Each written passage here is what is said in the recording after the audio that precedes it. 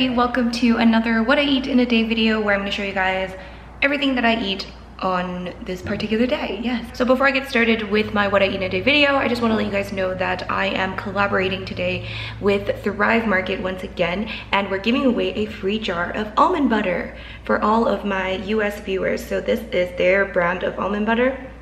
So it is vegan, it is gluten-free, it is non-GMO, it is paleo, it is kosher, and it also does not contain palm oil. So if you guys wanna get some palm oil-free almond butter, make sure you click the link down below. Like I said, it is only available for my US viewers, unfortunately, but I know there's a lot of you guys out there, so so I just want to tell you guys a little bit more about Thrive Market in case you haven't heard of them. Thrive Market is basically this online kind of natural health food store. They sell different types of products like food and beauty products and supplements and all sorts of different things at a discounted value. So all you have to do is pay a $60 annual membership fee and then you get things at 25 to 50% off retail value, which is amazing. It's pretty awesome. Definitely check it out down below. Once again, you can get yourself a free almond butter as well as a free 30-day trial of Thrive Market. So you can give it a go first and see if you like it.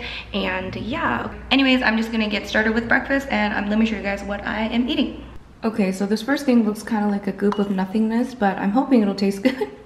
so I made this last night. This is supposed to be a chia seed matcha pudding. And I don't think I mixed it properly because it's kind of like chunky. I think I didn't make it properly, but um, I think it's still gonna taste good. So these are the products I used. They're all from Thrive Market actually. So I used whole chia seeds right here. And I also used a little bit of maple syrup, pure organic maple syrup. And I also used some matcha powder. Okay, so this is the brand that I used.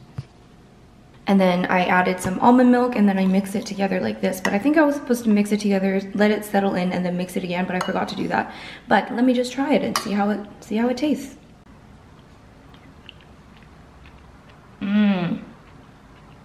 Oh, I love matcha. That's really good. Okay, so it's not a complete fail. It looks kind of weird, but it tastes good. And chia seeds are really good for you. So I'm gonna eat this and that's my breakfast.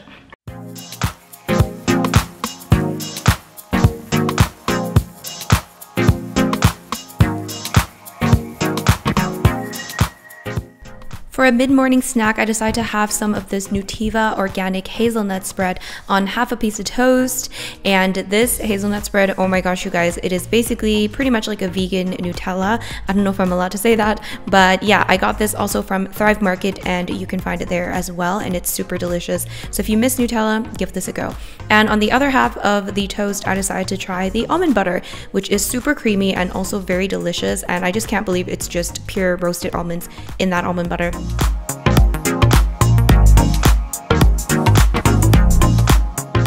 And now for the star of the show, I finally got to try this Follow Your Heart vegan egg, which I have been dying to try for so long, and you can find this on Thrive Market. And the instructions for this are really simple. All you have to do is just add a little bit of this powder mixture with some cold water and it becomes basically like an egg, which is so weird but also great at the same time. And the only thing that I regret doing here is that I didn't actually properly measure and instead of just properly measuring, I just kind of eyeballed it because I didn't have measuring spoons and I think I definitely didn't add enough of the powder mixture. But anyways, I tried to whisk it and then I failed, so I decided to blend it. you live and you learn, okay? So I just heated up some oil on a frying pan and I'm just going to add the mixture. Now I added some frozen vegetables in there and I attempted to make this into like a Korean egg roll dish, which is basically like a side dish from my childhood. And my mom would make it for me all the time. And I saw mommy May, mommy Mang, mommy Tang make this once with this follow your heart egg, but I totally failed, as you will see very soon. And here I'm just adding a little bit of salt. And basically this just takes a long time compared to normal eggs. So that's one thing that you want to keep in mind. So to make the egg roll thing, you kind of want to fold it in so that it kind of becomes like layers of egg. I can't really describe it. But then, yeah, I mean, this is just not like, it's just not working. I mean, it looks okay here, and then I'm gonna try to flip it soon, and you'll see what happens.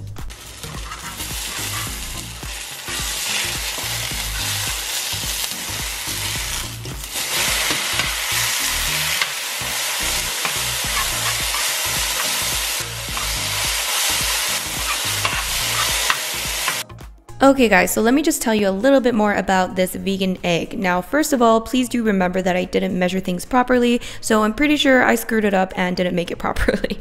that being said, I do think this is a great alternative for anyone that misses scrambled eggs or omelets because the taste and the texture are quite similar to eggs from what I remember.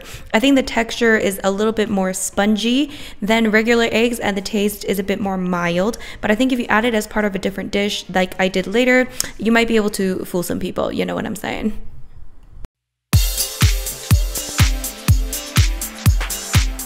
So my second attempt at this Korean egg roll situation was kind of like a semi-success, semi-failure. I just decided to add it into some fried rice later, you know, just because I just couldn't be bothered with it. Anyways, the fried rice has some beans in there, some veggies, and of course the vegan egg, and I'm gonna top it with some sriracha. And if you miss like egg fried rice, seriously, this was really delicious.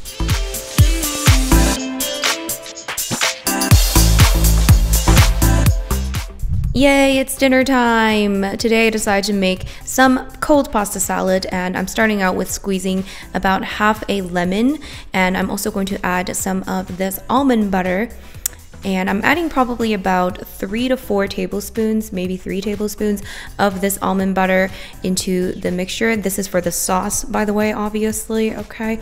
And I'm also gonna add some of this maple syrup once again.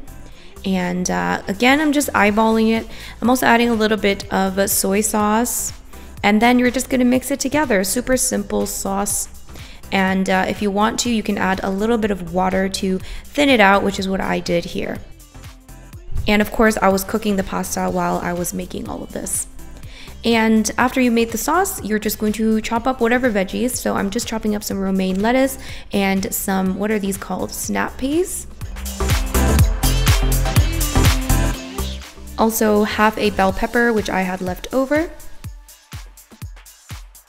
And I'm just gonna add all the veggies into a giant bowl. I'm also adding some spinach because I had some spinach left over.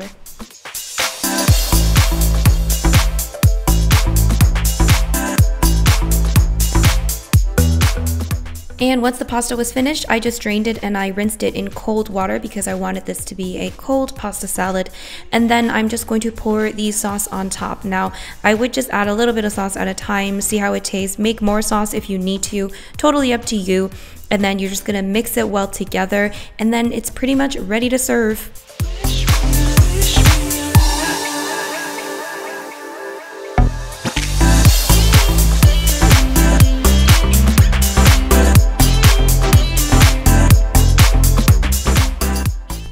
And that was my dinner and that brings us to the end of this video. I really hope you guys enjoyed this. Don't forget to give me a thumbs up if you did and please subscribe if you haven't already. Also, if you live in the US, don't forget to check out Thrive Market and grab yourself that free jar of almond butter because it is delicious and it is free. What more could you ask for? You can also get yourself that 30 day trial membership for Thrive Market to give it a go to see if you like it.